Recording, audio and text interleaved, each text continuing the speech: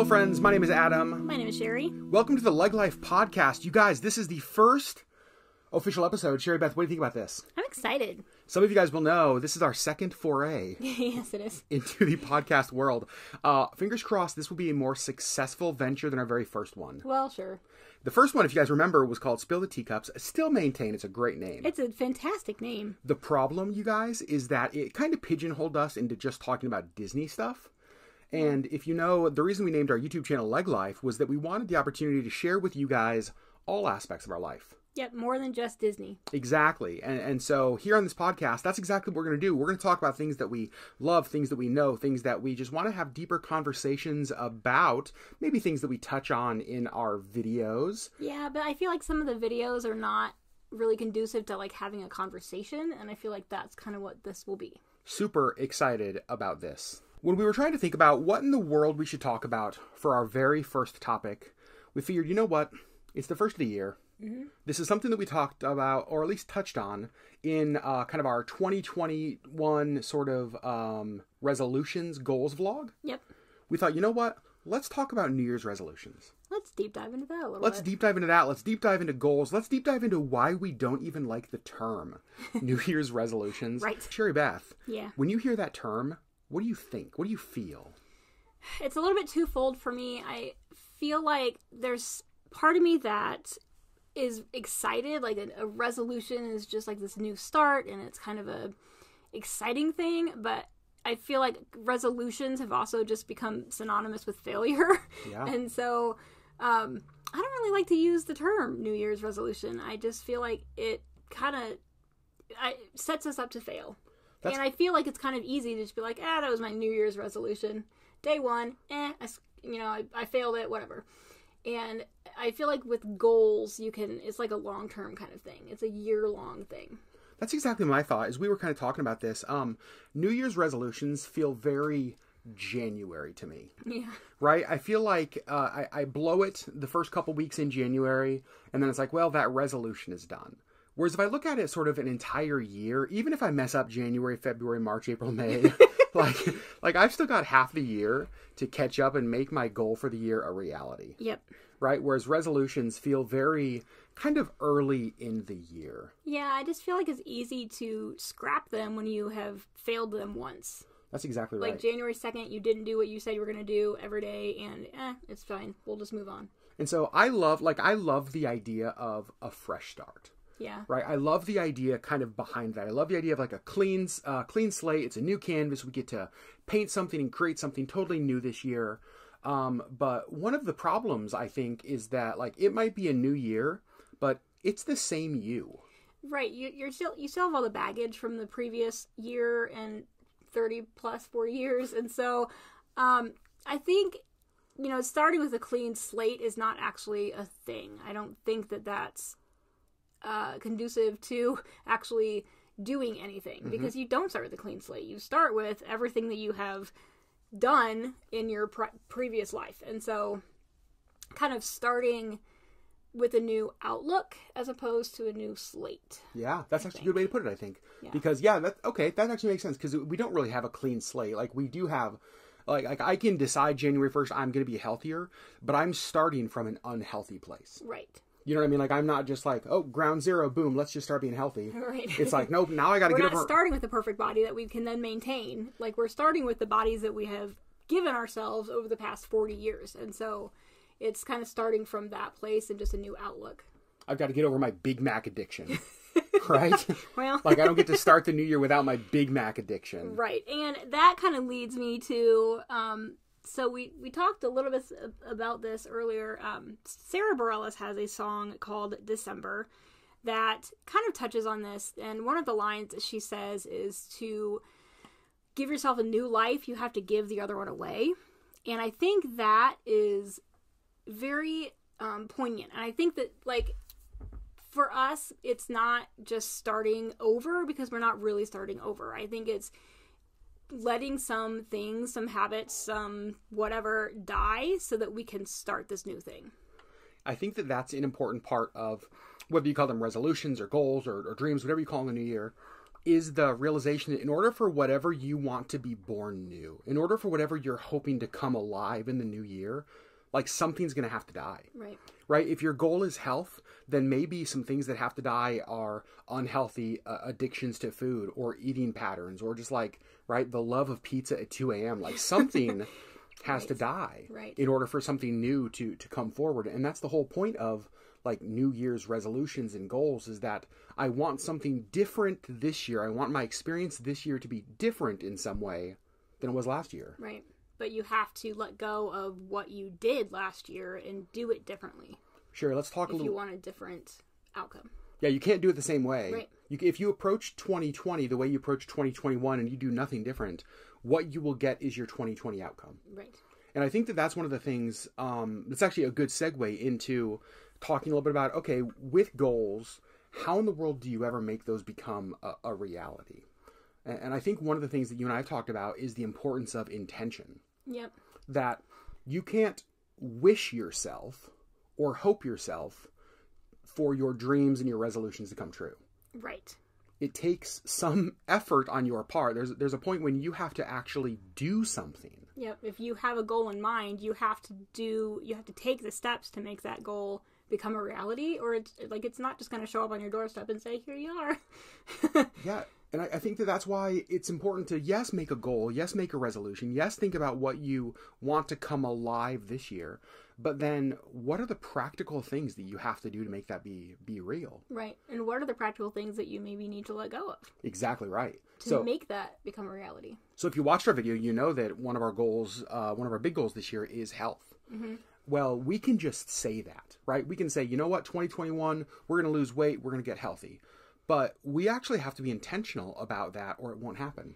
Right. I mean, we have to be like, and for me, it's it's kind of it's not even just a daily thing. It's almost like an hourly thing. Like I have to intentionally not eat things that are not healthy, and I have to intentionally move around more. Like intentionally exercise. Like I have to make this um, mental goal as well, or else it just it, it's not going to happen. And I think we have to also like say, okay, things that we know to be true about ourselves, that we are convenience eaters, we are not necessarily planners, we go to what is the easiest. Mm-hmm. And so for things like lunches or dinners, like we have to be intentional about saying, you know what, one night a week, we have to set aside just to make our lunches. Yeah. Because if we don't do that, we're ordering DoorDash. Right. If we wait until like the morning of to pack our lunches for that day, then we're we're not eating healthy because we're just gonna throw something together or we're gonna DoorDash. Like we're not Totally. we're not gonna like make a meal at eight o'clock in the morning for our lunch that day. Yeah, it's so not gonna happen. No, it's it, like never. It will not happen. it will not happen.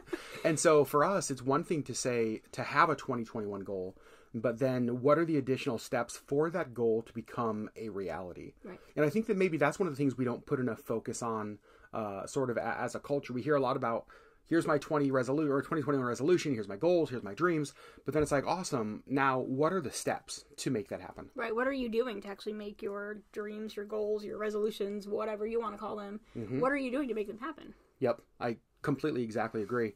Um, Sherry Beth, we've had a lot of resolutions over the years. Yeah. right? We've tried a lot of things and we have failed a lot of things. Yep. Um, are there any, other than intention, uh, are there any things that you've noticed when there are goals that we actually achieve? What are some common denominators? Like, what? Why do some goals get achieved and other goals don't?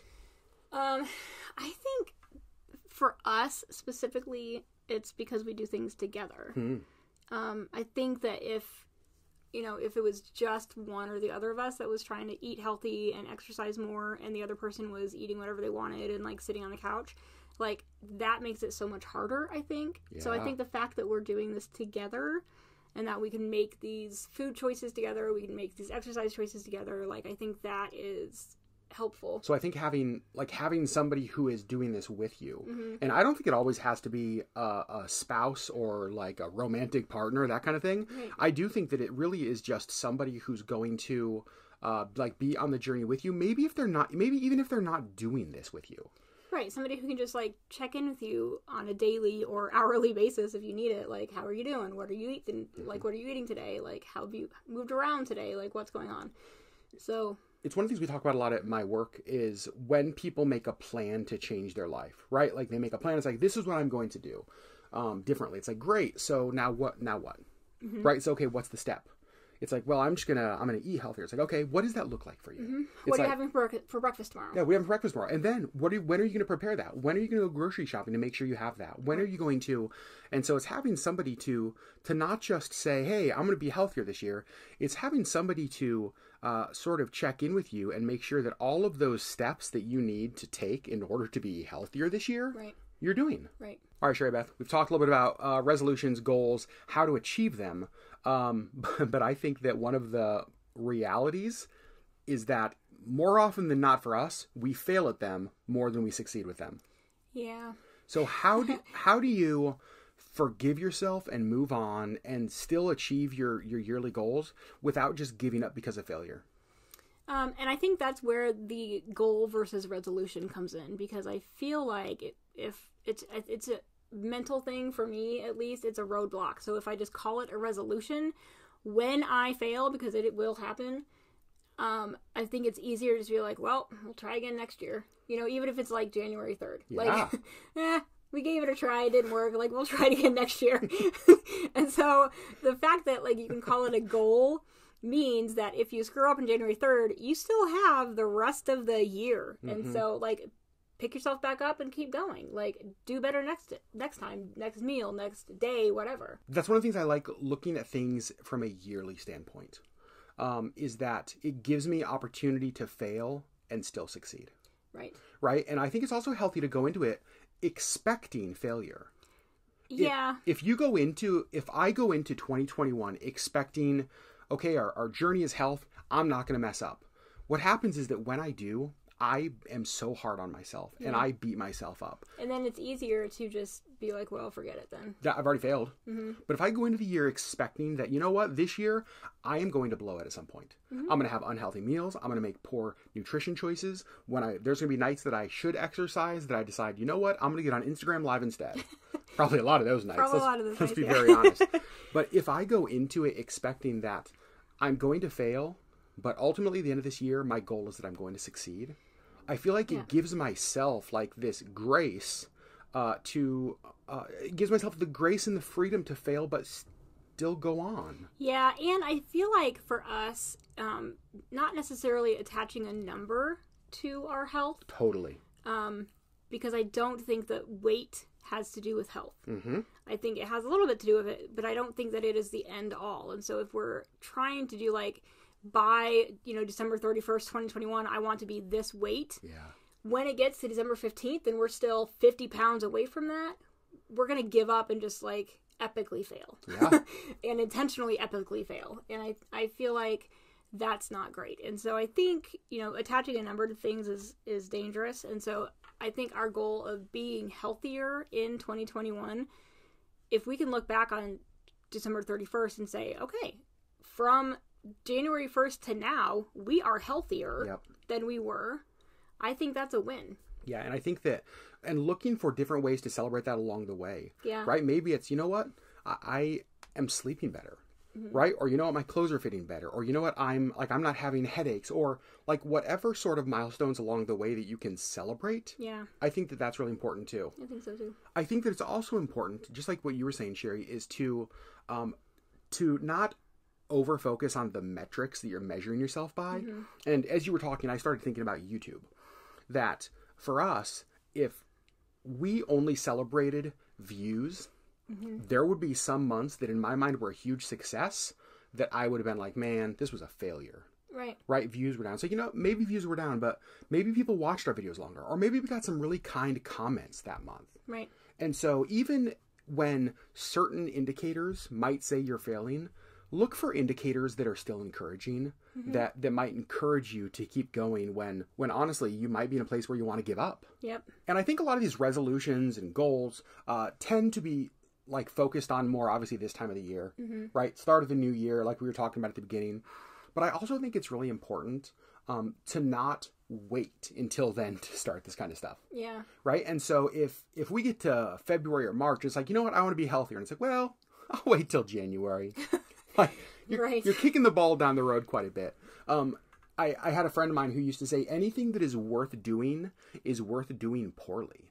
Like, don't wait until something is perfect to get started. Just start, Right. right? Just get going.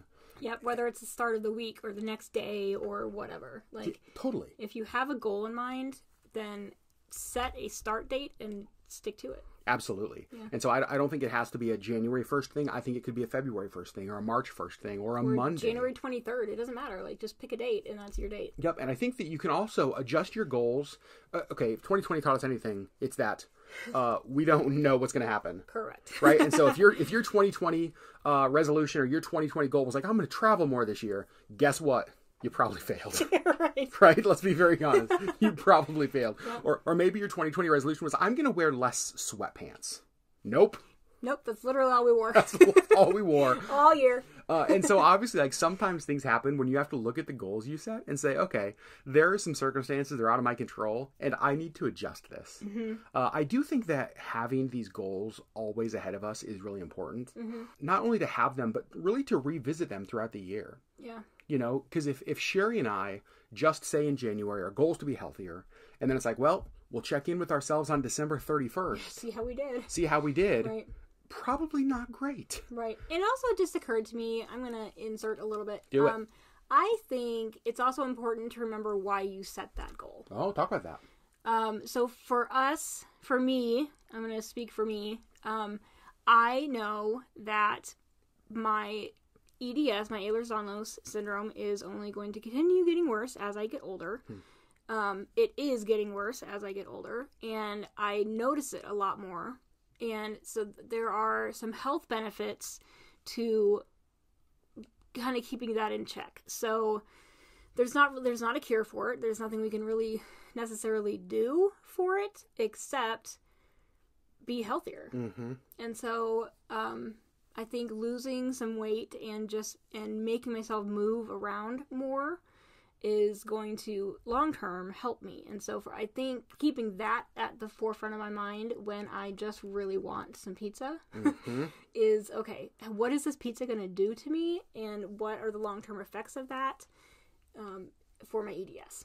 That's really good. I, I, as you were talking, I was thinking about how um, one of the memories I have from last summer was that was a hike that Auburn and I went on. We did the Winner Creek Trail down in Girdwood, and I did the whole trail. But boy, there was a part of it where I was like winded. I was like, I might die here.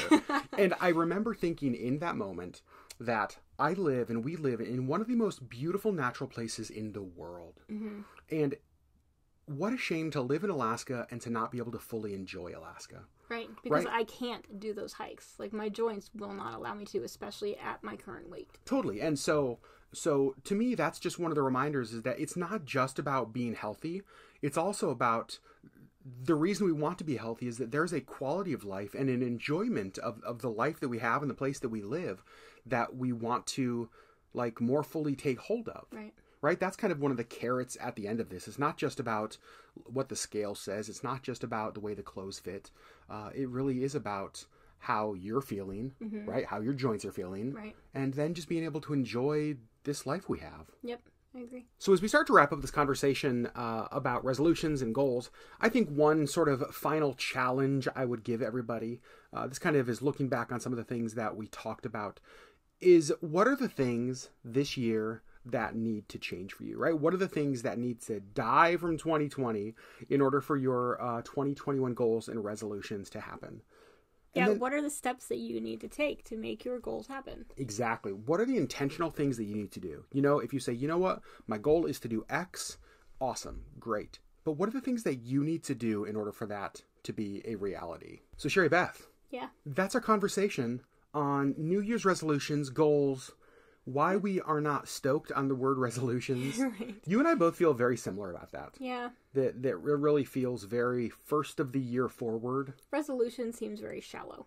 A resolution seems seems shallow, Yeah. whereas a goal or a dream feels Like deeper. deeper. Yeah. Yeah. Like a more long term. That's a good way to put it. More you, you allow yourself like ups and downs, and you will have ups and downs. Yeah, that's true. But a resolution is just sort of like up, up, up, and then when there's a down, you just are you done. well, it's like when you break a resolution, it feels like it's over. Right. It's like, oh, it's a broken resolution, the end. Right. Whereas like a goal is the finish line is so far down the road, or I wouldn't say so far, it's far enough down the road that you can stumble and fall and still get up and win. So we were talking about how in the world we want to end these podcast episodes. And just so you know, some of these will be short, some of these will be long, depending on how uh, how long we want to talk, how deep we go into a certain topic, whether we have guests or not, Yeah. How many rabbit trails we take? how many rabbit trails we take. This one, I will say, I'm proud of us. I feel like this is a shorter one, uh, which is probably good for a first episode. Yeah, but we kind of stayed on topic. I'm so proud of us. Go us. and okay, I'm going to be very honest. It's not so much go us, it's really go me because you are always so good at staying on topic, and I am just so horrible.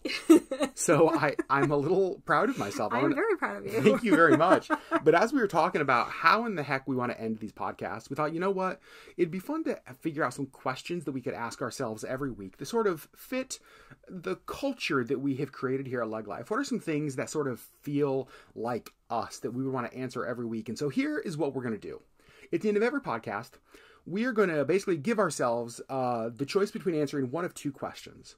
Those questions are Who is someone that has been inspiring to you lately? Like, think about recently in life. Who's someone's been inspiring to you? Or what is something that has been bringing you joy? So, either someone's been inspiring uh, or something that has been bringing you joy. So, Sherry Beth, Yeah. I'm going to start with you because beautiful ladies first. okay. Um, I do want to add in the little caveat that this does not necessarily have to do with the topic that we just discussed. No, It's not at all. Just randomly, what has been bringing you joy or who has inspired you. this is just a life check in. Yep. This is uh this is something that we try to do with each other on a fairly regular basis. Like, hey, how are you doing? What was a highlight? What was you know what's going on? Mm-hmm. And so we thought, you know what, let's bring this little element of of LeggLife, which is us, Yeah. to the podcast. So, uh, Sherry Beth, who is someone that's been inspiring you, or what's something that's been bringing you joy lately? Well, I'm going to talk about the joy. Okay. Uh, something that has brought me joy recently. I just finished A Christmas Carol, and I read it every year, and I, I can't even tell you how many times I've read this story. Um, but I get lost in the language of Charles Dickens and the story, and I love it every time I read it. Yeah? Like, there's never a time that I'm just like, ugh, I have to read this again. Like, I always, I'm so excited to read it. I think that's a great one. I'm trying to think if I've ever read A Christmas Carol, and I don't I know you've so. seen the movie, but I don't know if you've ever read the book. Do you think I would enjoy it? I think, I mean, I love it. I really do. is the language of the book because this is one of the things we've talked about with me with possibly reading like jane austen is that the language could throw me off it takes it takes a hot second to kind of get your brain into that rhythm because it is different. Okay. Um but once you kind of get it like it's so beautiful. So sherry answered the uh, what is something that's been bringing you joy question. So i'm going to answer the who is someone that has been inspiring to you uh, lately. And my answer is maybe a little bit different because it is a couple of people that i've never met before okay I've been watching a ton of Kels and John vlogs lately. Yeah. Uh, now, Kels and John are YouTubers that do a ton of Disney content. Really great couple. We learned about them when you guys actually started tagging us in comments saying like Kels and John mentioned you in their latest vlog, and I was like, well, then we need to figure out who these Kels and John people are. Uh, I started watching them, and they're amazing. they're the cutest people ever And here's what's been inspiring to me about them lately is that I watch their channel and I get so excited for their future on YouTube of their channel. Yeah. I just I'm I cannot wait to watch their journey. I know very few channels that when I watch them, I think I cannot wait to see where this goes over the next year, 3 years, 5 years. Mm-hmm. Because I really think that there are like big things in store for them yep i think so because of how likable they are, how great their content is, the kind of stuff they make. And so I just find when I watch their videos that I am I am both creatively inspired, but I'm also inspired just cuz when you watch somebody that you just like, i know like i just really want to be like friends with them and hang out and I've never met them. i know so hopefully that changes, but that's who that's who's been inspiring me lately is uh Kels and John on YouTube. so friends that is it for episode number one of the LeggLife podcast I can say already we have now done as many episodes of this podcast as we did of Spill the Teacups. but we have a lot more ideas for this one We have so many we ideas. We have a whole list in our phones And I will say that if if you guys have podcast ideas, if there are topics that you would love to hear us deep dive into, if there's topics you'd love to hear our thoughts on, uh, post those over on the LeggLife Facebook page. We would love to hear from you guys. We'd love to know the kind of things that you would like to hear from us. I, for one, am very excited about the future of this podcast. me too We have talked about wanting to do this for a while, yes we have and gosh darn it, it's finally happening, and it will be at least one episode. we will have at least one LeggLife podcast episode. Friends, you guys know that we love you. We say it all the time. We're so thankful for all of your support, whether it is on uh, YouTube, whether it's on Facebook or Instagram, or even right here on the LeggLife podcast. Don't forget to subscribe on your favorite podcasting platform. And friends, we will see you next time.